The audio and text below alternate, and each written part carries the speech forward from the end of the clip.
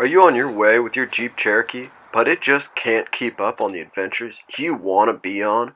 Well, stop fanning your engine, and you need to turn around and listen. Yeah, you.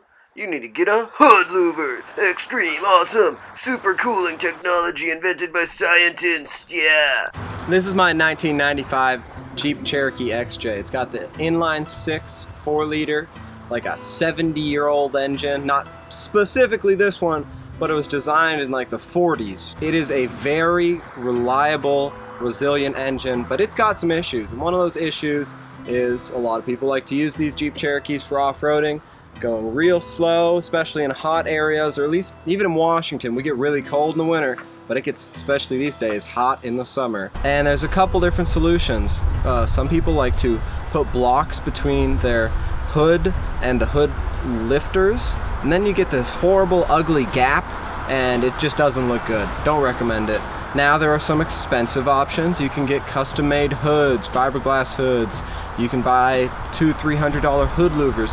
Or like the nice guy from the infomercial you can go to your local ace hardware buy a five dollar floor vent or you know just ac duct vent and uh, cut some holes in your hood. And that's what we're gonna do today.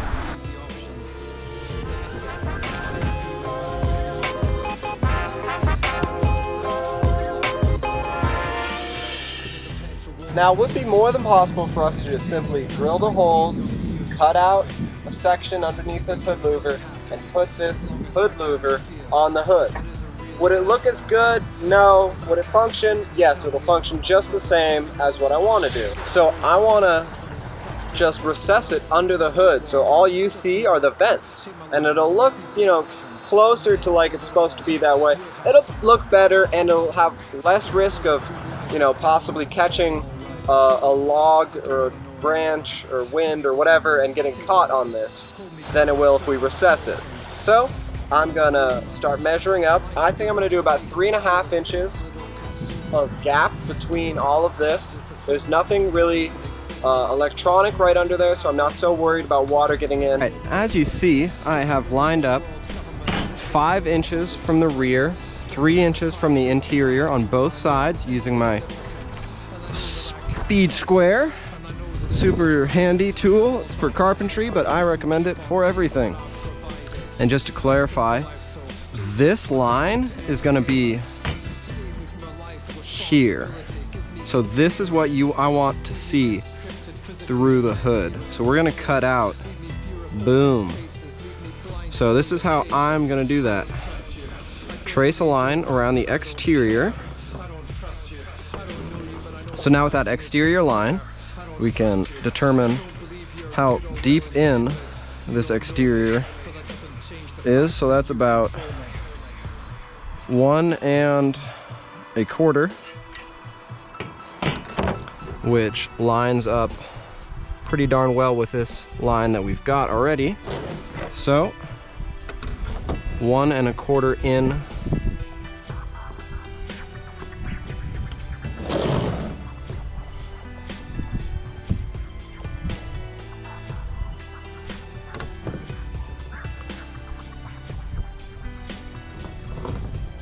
And remember, you can always cut more out later, but you can't add metal back on.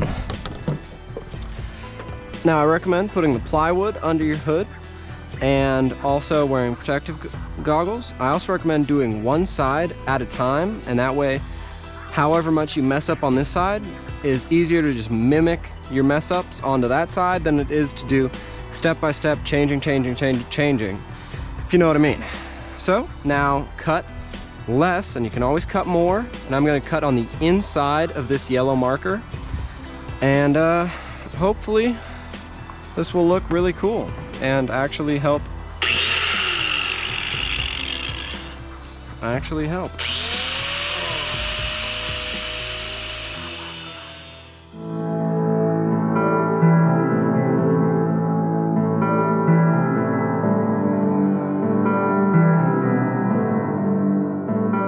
So with the hole cut out, we've got our, you know, test run just kind of loosely fit under there.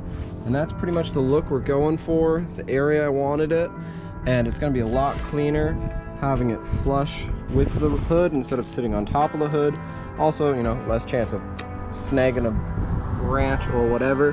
I'm happy with this. So I'm gonna drill the four holes, clean up these edges, paint them so they don't rust, and yeah, baby, we are in business.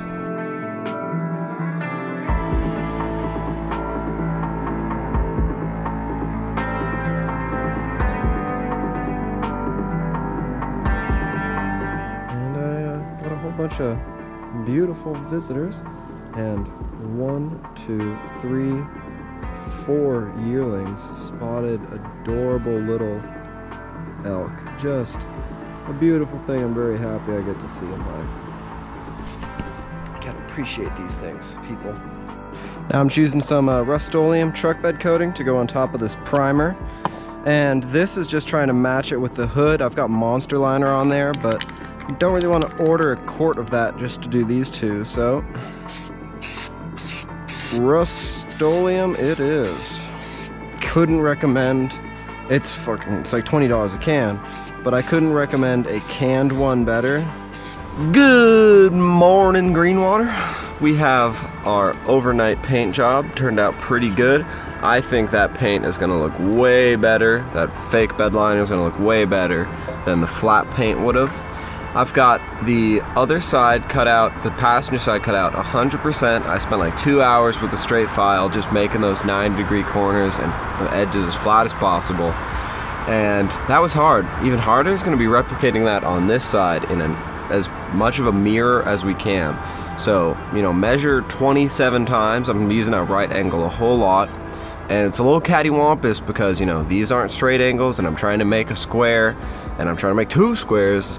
Uh, so I'm gonna be measuring a whole lot and trying to get them to be, you know, exact mirrors of each other on each side of the hood.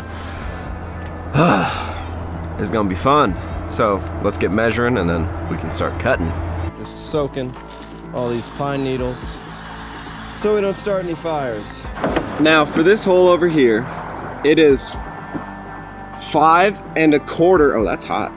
Five and a quarter on this corner and just about five inches on that corner. And that shows the curve that occurs in this hood.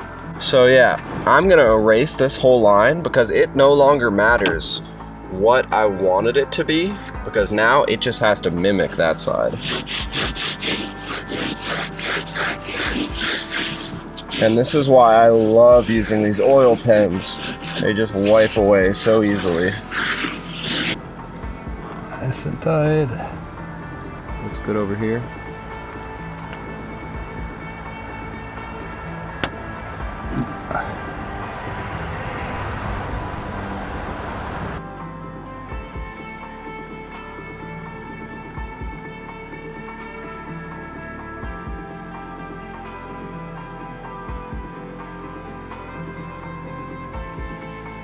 Now with those lines drawn up, we're ready to do the final cut. But remember, your hood latch cable runs directly under there. So be very careful not to cut that.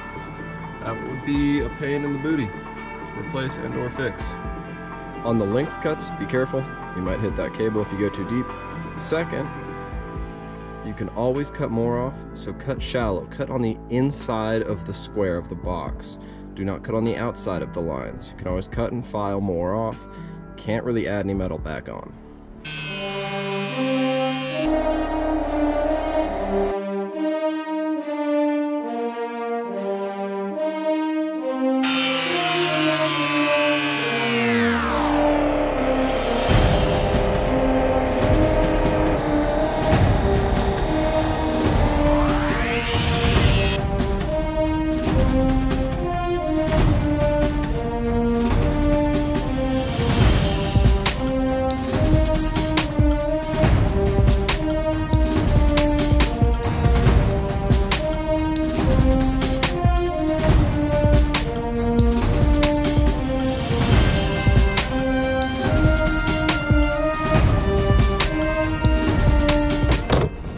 So using the speed square, going out a half inch from the corner, marking, and then going out another, going out the same half inch, and marking to try and find the hypotenuse angle or whatever Miss Asacharova from Pacific Middle School would have wanted me to remember how to do.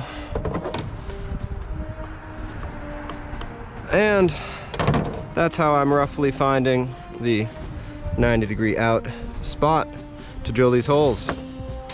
Math. It's what's for breakfast.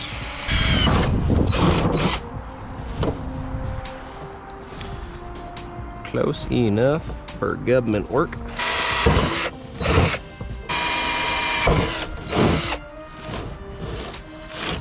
So we've got everything pretty much in place except the holes drilled into this.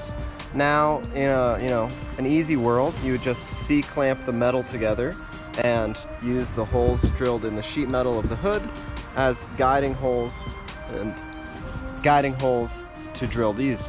But there's not a C-clamp in the world that I know of that can reach the 20, 30 inches into this hood and clamp this down. So we're gonna have to get a little creative. Well, we are in the home stretch here, people. I've got that driver side one all drilled and screwed and fitted and I got the bolts on and I'm quite satisfied, happy with it. Now it was a little challenging and I just wanted to figure out how to do it before I showed you guys. So it took really just one hand to go under here, hold this in place and slowly drill the first one, put a bolt in, put the nut over it, tighten it all the way down, make sure it's all lined up perfectly. And then I drill the second one, third one, fourth one, you know, pretty straightforward. It's just kind of hard. Also, my arm's really itchy from touching this insulation. I bet it's like asbestos or fiberglass or something. I wash my arm off, probably gonna die or become the Hulk or something like that. Now, this is where the problem's coming from. As you can see where I pre-drilled that hole, it is interfering with this little support ridge right here. So I trimmed away a bit more of this fiberglass death plastic paper stuff. I'm just gonna cut a couple inches to the right and a half inch down. I'm gonna cut it and I'm just gonna, you know, bend it back down a bit.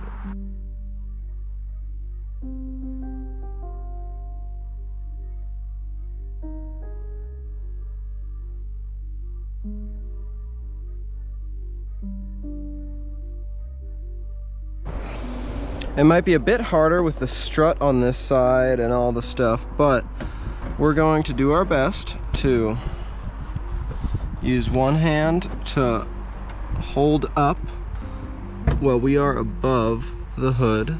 One hand to hold up, the other hand to line up.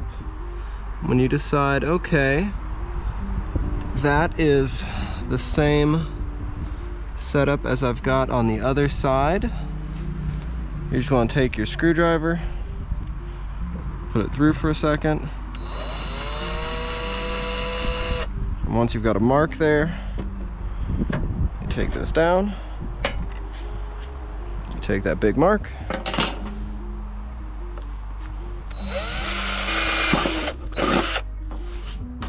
And you send her home. Now once you've got one in, this is where the interesting part is you take one of your bolts and the proper tool. I recommend these M470 bolts. You can use an Allen, red, Allen wrench for the head and I think they just look a lot cleaner once they're on the hood.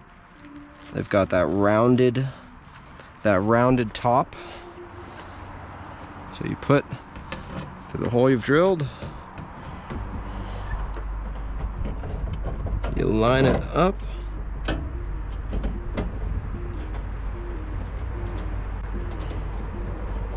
Put that down.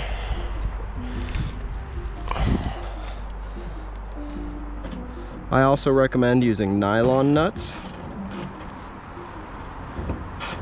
Much less of a chance of it coming off on the highway. Just do your best to line this up exactly how you want it because this is the bolt that really decides how flush everything gets. Same as the first time. Give yourself a little mark there. And undo this bolt and repeat until finished.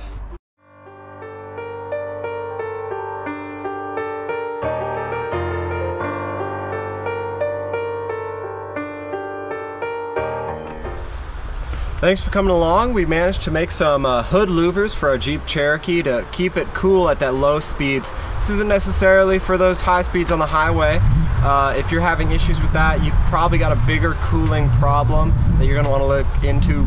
Uh, radiator coolant system might be clogged or not circulating at all, or you might just need to, uh, you know, drain it, fill it up again. Give that a check. But for those slow off-roading miles, this is exactly the solution we're looking for to keep a nice, cool engine temp. It only cost us about 40 bucks between the paint, the floor vents, and the bolts. So I'd say that's uh, 160, 200 dollars less than the next competitor on the market. I think we did a pretty good job. Follow along here, uh, like, subscribe, comment, share with your friends or anybody who owns a uh, nice cheap key like I do, and uh, post on Instagram and or YouTube every Monday and Wednesday, how-tos, adventures, all sorts of stuff. So, thanks for coming along, and remember, if some guy can do it,